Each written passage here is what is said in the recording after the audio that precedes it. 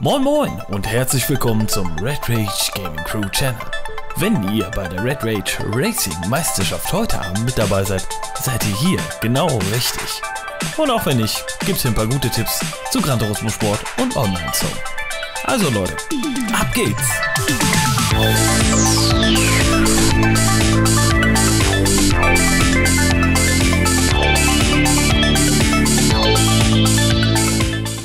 Ja, meine Güte.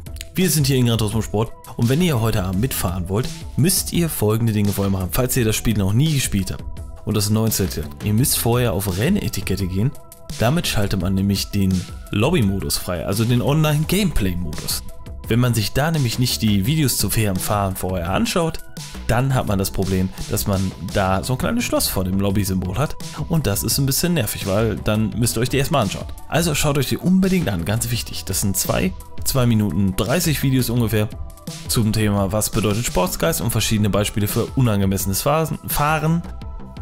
Ah, damit man halt auch weiß, ähm, was man nicht machen sollte und was man machen darf.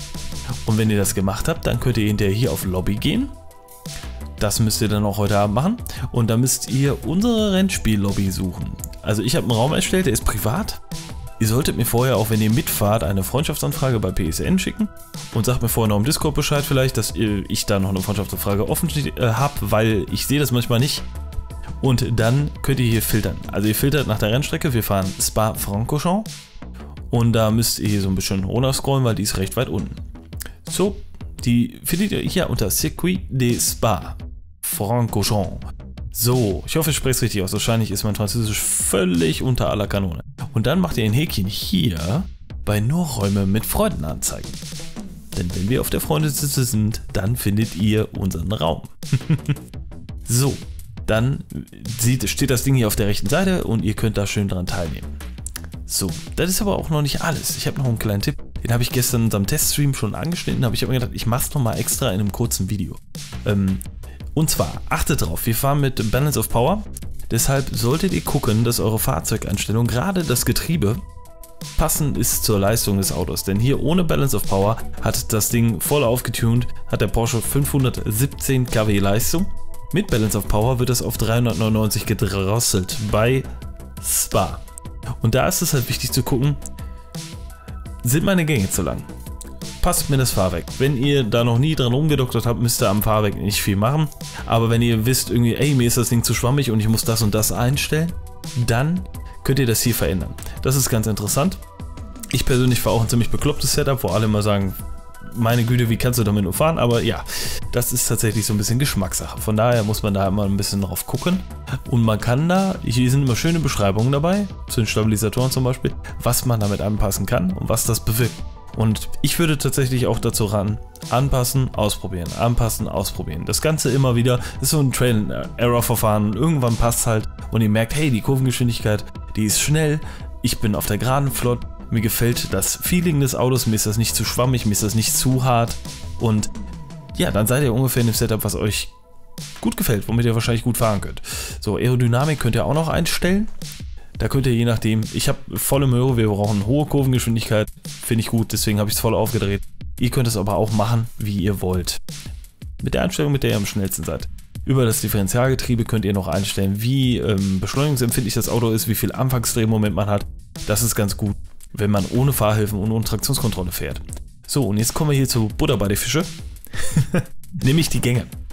Wenn die zu lang sind, ähm, dann habt ihr das Problem, dass das Ding überhaupt nicht in den Drehzahlbegrenzer geht und dass ihr teilweise gar nicht in den sechsten Gang oder in den höchsten Gang des Autos kommt. Und weil die einfach mit niedrigerer KW-Leistung nicht auf die Höchstgeschwindigkeit kommt. Und ich habe hier eine ganz nette Einstellung und da mir die gefällt, regle ich das einfach nur über die Höchstgeschwindigkeit und sage, hey, ähm, höchstwahrscheinlich schaffen wir, keine Ahnung, Spa lange geraden, 300, weiß ich nicht. Also stelle ich den hier auf 290, dann sind wir im sechsten Gang bei der maximal beim Drehzahlbegrenzer bei 304 km/h. Und dann testen wir den Spaß hier und schauen, was dabei rauskommt. Im Endeffekt habe ich mich ähm, bei dem Porsche darauf oder dazu entschlossen, den auf 270 km/h zu regeln ähm, dann ist er im sechsten Gang beim Drehzahlbegrenzer Pi mal Daumen bei 275. Das erreiche ich nie im Leben, selbst hier mit Windschatten und KI-Fahrern. komme ich mit auf Balance of Power begrenzten Porsche maximal auf 255. Da ist Schluss. Aber das Schöne ist, wir kommen nicht in Drehzahlbegrenzer. Wir haben eine schnellere Beschleunigung durch die kürzeren Gänge in die niedrigen Gängen. Das ist ganz geil. Und wir sind irgendwo noch im effektiven Leistungsbereich, wenn wir beim höchsten Gang wirklich am Ende der Nadel sind, also so 255. Da geht noch was. Zur Not äh, ist es auch immer ganz gut, so ein bisschen Reserve zu haben. Denn wenn ihr da mal Windschatten fahrt, dann kann es sein, dass ihr schneller werdet als ohne Windschatten. Und da ist so ein klein bisschen äh, ja, Headroom oder Spielraum nach oben hin immer ganz nett, finde ich zumindest. Ist so ein bisschen persönliche Einstellungssache. Aber für alle, die das hier noch nie gespielt haben, ist das hier vielleicht was ganz Neues und böhmische Dörfer. Aber achtet darauf, einfach eure Höchstgeschwindigkeit an die Höchstgeschwindigkeit der Strecke oder die maximal mögliche Geschwindigkeit der Strecke anzupassen. Da habt ihr einen schönen Vorteil. Beziehungsweise, naja, ihr, ihr habt zumindest keinen Nachteil. Ihr habt eine schnellere Beschleunigung und die Höchstgeschwindigkeit passt dann halt zur Strecke. Denn es bringt nichts auf einer Strecke, wo ihr maximal 280 fahren könnt, das Getriebe bis 330 hochzuziehen. Vor allen Dingen nicht, wenn die Leistung begrenzt ist und das wird sie bei allen unseren Autos sein, die sind alle ausgeglichen. Da lohnt es sich dann einfach zu gucken, hey, was schaffe ich, was geht auf der Strecke, was geht mit dem Auto bei der und der Leistung und das dann anzupassen. Dann kommt man halt besser weg. Insgesamt schnellere Rundenzeiten. Ich habe tatsächlich mit dem Setup meine Rundenzeit von gestern aus dem Teststream nochmal um 2 Sekunden unterboten. Wir waren bei 2,25 und ich glaube, ich habe jetzt hier 2,23 ein paar kurze. Sehen wir jetzt hier schön im Video. Kleiner Moment.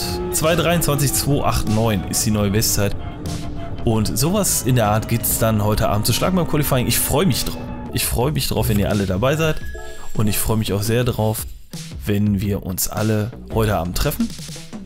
Und vor allen Dingen freue ich mich drauf, noch schnellere Zeiten als meine zu sehen. Denn ich bin hier nicht König, ich bin nicht gut, ähm, bin auch nicht der Beste. Und ja, ähm, ich freue mich sehr drauf zu sehen, was ihr alle so rockt. Und ich glaube, es gibt da ein paar Leute bei uns, die mitmachen, die echt Potenzial haben und die richtig Gas geben können. Und ich habe auch ein bisschen Muffensausen vom Moppe King, muss ich sagen, weil der, wenn der einmal im Rennmodus ist, ist Feierabend. ja, das sind wir schon am Ende des Videos mit neuem Abspann, Leute. Dankeschön fürs Zuschauen. Auf rechts gibt es einen Abo-Button und mehr Videos-Button, falls euch das hier gefällt. Klickt mal drauf. Unten runter alle unsere Kanalmitglieder nach Rang sortiert. Dankeschön für die Unterstützung. Leute, ihr seid richtig geil. Und ich kann nur sagen, wir sehen uns auf der Strecke heute Abend. Tschüss!